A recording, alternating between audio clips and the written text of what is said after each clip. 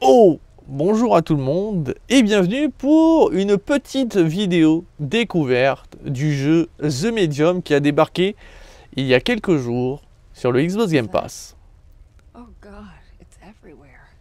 Et vous pouvez le constater dès les premières secondes, visuellement le jeu est très réussi et il y a une sacrée ambiance. Euh, une ambiance assez froide, assez horrifique et assez sanguinolente. Alors il faut savoir que le studio qui est derrière ce jeu, ce n'est autre que Bluebird Team, qui nous avait offert le jeu d'horreur euh, Observer, qui se déroulait dans l'espace, euh, ou encore le dernier en date, qui est beaucoup plus connu, qui avait beaucoup plus marqué, ce n'était autre que Blair Witch. Et Blair Witch avait un gros atout. Déjà d'une, graphiquement, le jeu était tout simplement sublime. Par contre, côté horreur, à part l'ambiance sonore et visuelle, ça m'en touchait une sans faire bouger l'autre. Et malheureusement, The Medium, après avoir joué 3-4 heures, si je dis pas de conneries, j'ai sursauté une seule fois et encore c'était un petit jumpscare, mais alors l'ambiance ne me fait pas grand chose. Et c'est fort dommage puisque ben, on a un studio talentueux, mais qui, qui, qui en ce moment nous offre pas du très très lourd, alors que pourtant bah, ils ont tout pour nous offrir quelque chose d'assez incroyable. Alors, il faut savoir que là, ils ont décidé de revenir sur quelque chose d'assez archaïque, puisque le gameplay qui nous est offert ici, comme vous pouvez le constater, c'est des caméras fixes, qui a été utilisé entre autres sur Resident Evil, mais qui a été oublié et euh, délaissé au fur et à mesure des années, puisque le but aujourd'hui, quand on propose un survival horror, c'est de pouvoir se déplacer euh, soi-même. Mais quand je dis oublié, délaissé, euh, Observer utilisait des caméras fixes. Sauf que là, c'est vraiment une caméra qui est vraiment fixe, et on sent très bien que dans, cette, dans ce bâtiment, vous voyez, il n'y a pas de caméra qui est posée là. Dans Observer, par exemple, les caméras étaient dans une station orbitale, donc il y avait plusieurs caméras qui montraient les différents lieux, ça avait plus de sens. Là, on sent qu'il n'y a pas une caméra qui est posée là qui me suit. Là, c'est justement euh, rendre hommage un petit peu à ces vieux jeux comme Resident Evil, sauf qu'on garde un côté vraiment survival horror où on va pas se battre. Le but ici, c'est de survivre, mais en même temps de découvrir une histoire comme dans Observer ou encore Blair Witch, et on va avancer, et au fur et à mesure du temps, il va se passer des événements. Il faut savoir qu'ici, la, grosse particularité, eh bien, tout est dans le titre, on incarne une médium. Qu'est-ce que ça veut dire? C'est qu'elle a la capacité de pouvoir voir les esprits, leur parler, mais aussi de rentrer dans leur monde et de se dédoubler, si on peut dire. Donc il y a son côté physique, on a là, donc dans le vrai monde, mais il y aura une seconde partie on va avoir euh, le, monde des esprits qui est plus chaotique, euh, presque un enfer, euh, un petit peu un enfer comme ici, avec du sang, sauf qu'on ne verra pas spécialement du sang. Vous c'est assez étrange comme environnement. J'ai été même assez déçu, il y a une raison à ça, c'est que je m'attendais vraiment à avoir un monde très effrayant, avec des créatures et tout, mais même s'il y en a, il n'y en a pas tant que ça. Je, m'attendais vraiment à tomber dans un enfer, euh, torturé et tout, mais on n'a pas l'impression que ça soit ça. Et vous allez voir que... Alors, je sais pas si je vais arriver à vous montrer ça.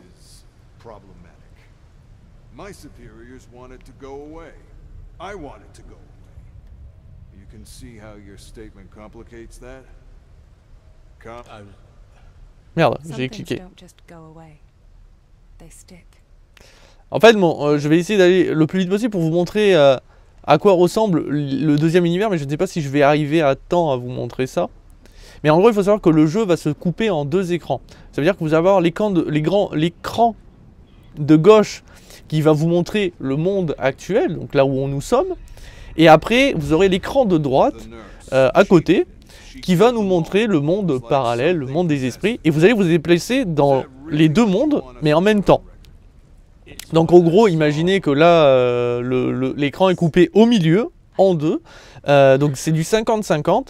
Et que quand je me déplace dans l'un, je me déplace dans l'autre. Sauf qu'il y aura forcément des éléments de décor qui ne seront pas présents dans l'un, mais qui seront présents dans l'autre.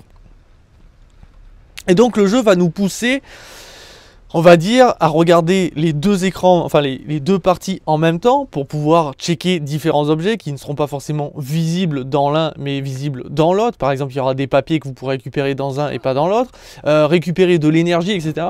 Et vous allez voir que autant c'est très intéressant, mais autant il y a des fois c'est un petit peu compliqué, ça, nous pomme un petit peu, euh, mais au moins il y a de l'idée. Le souci c'est vraiment ce côté parallèle qui est pour moi pas assez poussif. C'est que vraiment, le- le- les débuts sont très longs. Alors peut-être qu'au fur et à mesure du temps, ça va devenir plus euh, violent, plus sanguinolent, plus chaotique. Mais en fait, on sent qu'ils ont voulu rendre hommage d'une à Resident Evil avec ses caméras fixes. Il n'y a pas que Resident Evil, hein, il y avait aussi Alone in the Dark, etc. Beaucoup de vieux jeux qui utilisaient ça. Euh, mais ils ont voulu, euh, pour moi, je pense, oui, s'inspirer de Silent Hill. Comme vous le savez, dans Silent Hill, donc, vous avez le village qui au début est, est, on va dire, normal. Sauf qu'après, il y a de la brume qui apparaît. Euh, vous avez une alarme euh, qui commence à sonner et le monde se transforme et vous partez euh, dans l'enfer de Silent Hill avec ces créatures démoniaques, etc. Sauf qu'il y a un côté très glauque à l'ambiance, alors qu'ici c'est pas vraiment glauque, c'est juste mignon, vous voyez, sans plus. On sent que c'est le monde des esprits, mais ça te retourne pas le cœur. tu t'en fous d'y être. Alors que dans Silent Hill, quand t'es dans le monde de, l'enfer, t'as pas envie d'y être, quoi. Alors que là, oui, vous allez croiser une créature, mais c'est pas fou. Et c'est un peu con, je trouve que c'est sous-exploité. Sachant qu'en plus, bah, le jeu est assez lent, c'est-à-dire vraiment vous avez beaucoup de, dialogues, beaucoup de textes à lire. Euh, alors ça en soi c'est pas un problème, hein, bien sûr. Voilà, il y, a- il y a des petits textes euh, qui vous donnent le lore, parce qu'au début on est un peu perdu, on sait pas trop euh, euh, pourquoi on est là, qu'est-ce qu'on va faire? Euh, même si euh, là on, recherche une personne, là actuellement je recherche une personne, mais qu'est-ce qui s'est passé là dans cette pourquoi tout est dévasté? Pourquoi il y a eu du sang? Et ça vous allez le découvrir avec des textes et tout. C'est sympa mais c'est pas fou quoi. Et en fait c'est un peu mon problème que j'avais eu avec Blair Witch c'est que on a une putain d'ambiance visuelle et sonore. Vous voyez vous avez entendu il y avait eu une créature on sentait qu'il y avait quelque chose là on entend la pluie. Là quand je marche dans l'eau. Voilà.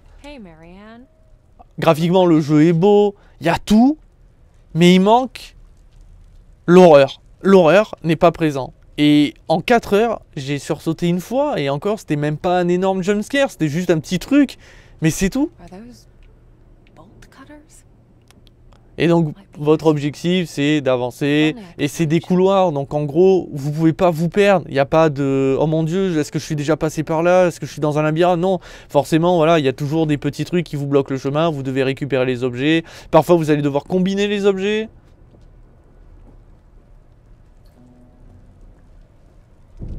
Et voilà, qui dit monde parallèle, et vous voyez, donc là, on peut voir un monde, le, enfin, le monde parallèle avec euh, mon moi, mais différent, et vous voyez que mon moi a les cheveux blancs. Et donc là, le monde parallèle me permet, grâce à mon pouvoir de médium, de parler à un esprit. Donc cette petite fille qui s'appelle Tristesse. Well, that's my seven years bad luck. Donc là, en gros... euh, ah merde, je- ah merde, est-ce que je l'ai zappé? Ah non, vous voyez Alors, Désolé, je l'ai zappé, mais on le voyait un petit peu. On voyait un truc derrière moi et c'est en fait une des créatures. Alors je sais pas s'il y en a plusieurs. Là, pour, en tout cas, c'est la première créature que j'ai croisée. Euh, et on a pu l'apercevoir à nouveau. Donc là, en fait, je suis guidé pour récupérer différents objets. Et grâce à mon pouvoir, je peux, sur certains objets, euh, entendre ce qu'on appelle un écho et découvrir un peu de l'or. Donc là, des enfants. Et certainement que ça fait référence à cette petite fille euh, qui est un esprit. Donc ça veut dire que soit elle est morte sur ce lieu, ce qui a de grandes chances, et donc elle est enfermée dans le monde parallèle. Le problème, c'est que je pense que j'aurais préféré que le jeu fasse déjà une première chose, c'est qu'il nous fasse découvrir la vie du personnage qu'on incarne, petite fille, quand elle a ses pouvoirs et qu'elle croise les esprits, mais des esprits soit malveillants, soit bienveillants, mais aussi euh, déchirés. Alors quand je dis déchirés dans le sens, euh, ben, leur visage, leur corps, il y a du sang, il y a un truc crépi, ça aurait été très intéressant, ce qui fait qu'on aurait été beaucoup plus facilement attaché au protagoniste, alors que là on est lâché, elle est déjà adulte, elle a déjà son pouvoir, etc. Ça m'impacte un peu moins. Et en fait, malheureusement, si je dis euh, petite découverte, bah, il y a une raison à ça, c'est qu'il n'y aura rien d'autre. Il n'y a que ça à faire. c'est que des petits blabla, récupérer vite fait un objet, de cet objet je vais en récupérer un autre, je vais avoir du lore par-ci par-là, euh, je vais avancer dans des couloirs, euh, il y a un petit truc qui va me faire sursauter ou non, à un moment on va me dire que je suis bloqué parce qu'il me manque la clé, donc il va falloir trouver la clé qui est cachée dans un truc, ou voilà. Quelques énigmes entre guillemets. Après, je vais avoir le dédoublement, donc en gros, je vais avoir le monde réel et le monde euh, des esprits euh, côte à côte. Donc, je vais me balader dans les deux mondes et essayer de, faire en sorte de pouvoir me débloquer le chemin. Par exemple, un truc tout bête, à un moment, euh, je devais récupérer de l'énergie. Euh, le problème, c'est que l'énergie était bloquée parce qu'on me disait que euh, la bougie n'était pas assez allumée. Et en gros, entre guillemets, il fallait que je récupère une fleur dans le, le monde actuel et de la transposer de manière à ce que dans le monde des esprits, je puisse récupérer l'énergie. Voilà. Mais c'est pas des trucs très compliqués. Pour l'instant, j'ai pas eu d'énigme, hormis une qui est. Parce qu'en fait, vous voyez, ce pouvoir-là, là, quand j'appuie ça, ça s'appelle la vision. Et la vision permet de voir à travers les murs et les objets. Et en fait, n'hésitez pas à l'utiliser parce que parfois, vous allez avoir un objet euh, qui va être caché derrière, par exemple, un tableau ou voilà. Mais en fait, il n'y a rien, il n'y a pas d'action. Euh, Il n'y a vraiment rien d'intéressant, hormis où on va affronter euh, la créature, enfin pas affronter, mais essayer de survivre à la créature, la première que j'ai croisée pour l'instant, euh, où on va jouer accroupi, on va faire attention, et c'est pas fou.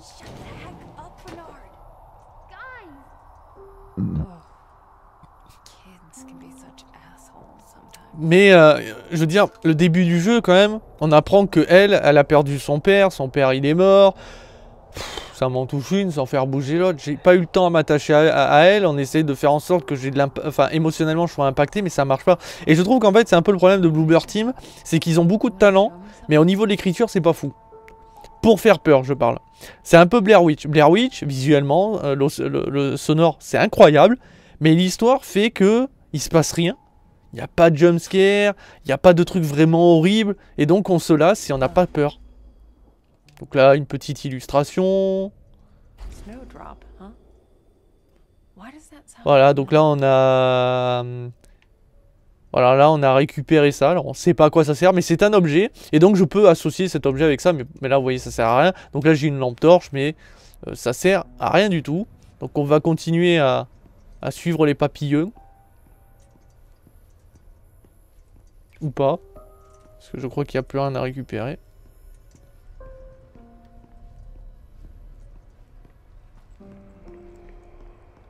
As I got closer to the mirror, I felt a slight tug in my pocket. I could tell there was more to that figurine than just carved wood. Donc là on peut entendre. hein. I can feel it calling out to me.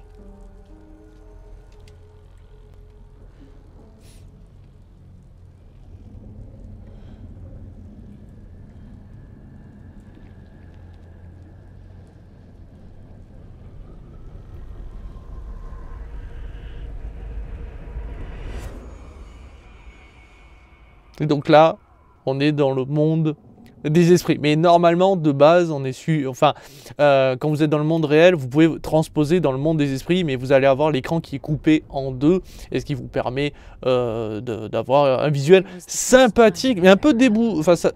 ouais, déboussolant. Je sais pas si ça se dit, mais qui est un peu particulier, pas des plus agréables.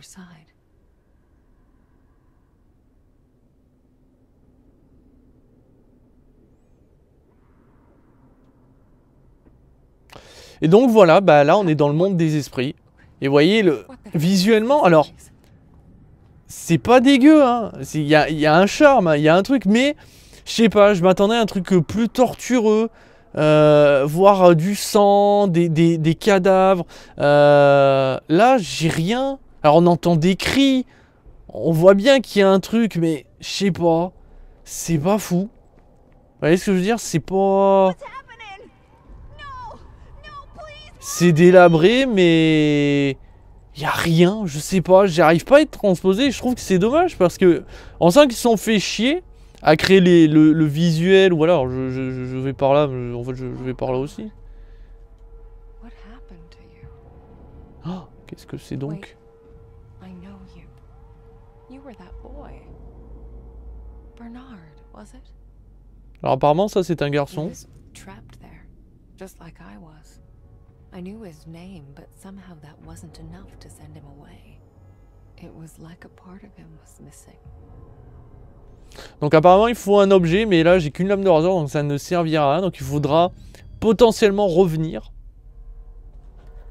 Donc là voilà le jeu qui nous guide. Alors c'est ça aussi ce qui est drôle, c'est que le jeu essaie de nous guider. Donc voilà, au cas où tu sois perdu, alors que le jeu c'est un couloir. Tu peux pas être perdu, je, je- c'est impossible. Donc vraiment je, je suis très déçu. The Medium je l'attendais parce qu'il avait été annoncé à je sais plus quel E3. euh, ouais, euh, bon là il y a du sang enfin. All these people. Mais voyez, par exemple, les, les- les gens qu'on va croiser portent des masques. Du coup, ça perd toute leur personnalité et les rend pas effrayants. Enfin, on n'est pas impacté dans le sens, oh mon dieu, ils, sont, ils ont par exemple le visage tu, découpé, euh, ils ont été torturés. Ben ça, on le voit pas. Alors là, je peux utiliser ma lame de rasoir que j'ai récupérée pour découper ceci. Voilà, alors tu dis, mon dieu, c'est du sang, c'est de la chair. Est-ce qu'on est en train de découper une vraie personne? Ça aurait été bien qu'on entende des cris et que par exemple on voit la personne qui se fait découper, le visage apparaît tu sais, à la fin. Ça aurait été très intéressant. Mais non. Mais non. Et donc là, en fait, on, on peut. euh, voilà, à ce qui s'appelle une fontaine spirituelle, en fait, permet de récupérer de l'énergie et donc de pouvoir activer certains mécanismes en chargeant le, un coup, donc voilà, avec RT, ou en mettant un bouclier comme ceci. Donc en gros, là, c'est en train de me dire que sans le chat que j'ai récupéré tout à l'heure dans le monde réel, je ne peux pas me déplacer à nouveau. Donc euh, malheureusement, il est dans le monde réel, et c'est tout. Donc là, le bouclier me permet, permet de traverser et donc de récupérer la tête de Bernard. Voilà, enfin son visage. Insane. Voilà. Voilà, donc on entend des cris, on voit des trucs, mais je sais pas, il y a rien. Vous voyez, j'ai pas peur parce que les masques font que c'est pas effrayant. Donc on va pas tarder à arrêter, hein, j'ai rien d'autre à montrer, au moins je vous montre ça. Alors euh, je vous montrerai vite fait juste un visuel euh, du, moment où on est euh, dans les deux mondes en même temps, mais sans plus parce qu'il n'y a pas grand chose à montrer. Mais pour ceux qui s'attendaient à un jeu un peu à la Blair Witch ou peut-être plus effrayant, passez peut-être votre chemin. Par contre, si vous aimez les scénarios qui vont se développer petit à petit, euh, des visuels, une ambiance sonore, bah, ce jeu est fait pour vous. Mais vous attendez pas à quelque chose d'incroyable. Parce que c'est pas-. Pour l'instant, en tout cas, pour le peu que j'ai fait, ça fait que 4 heures que je joue au jeu, donc difficile de juger à sa juste valeur, mais il n'est pas exceptionnel. Vraiment, je, trouve que le jeu est assez décevant.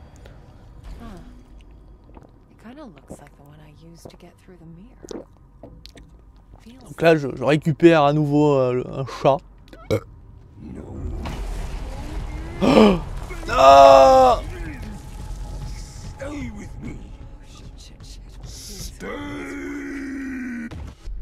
Oh mon dieu Et voilà, comme ça je vous gâche pas la créature. Et donc on s'est téléporté.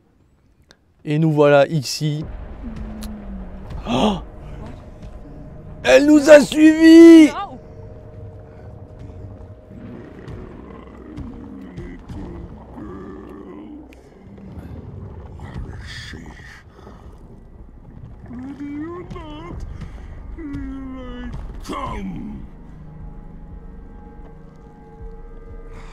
Hein?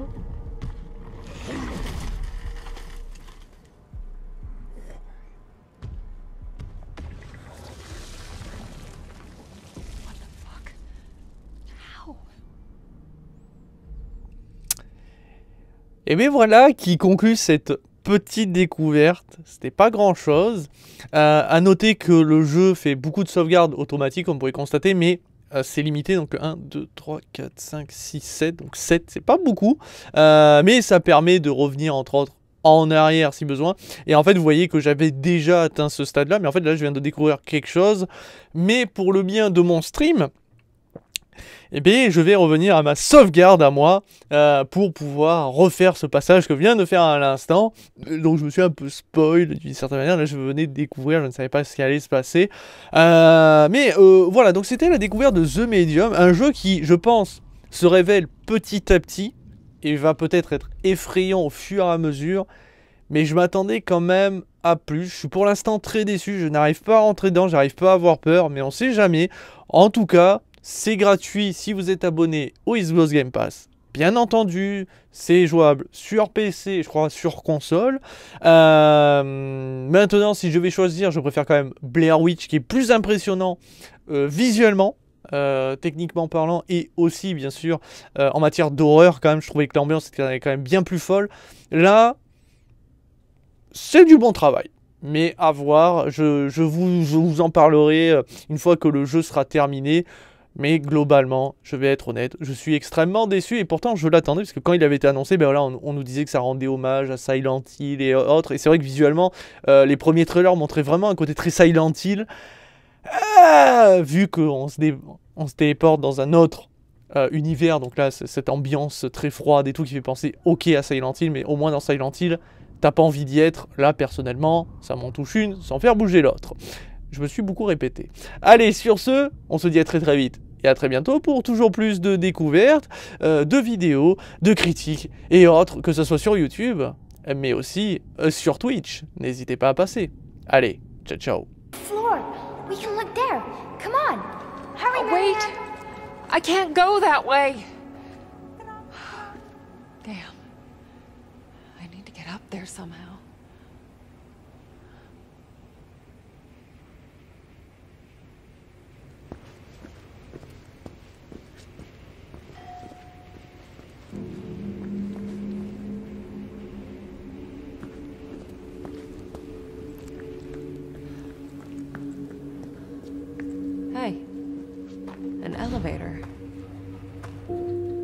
See if it works.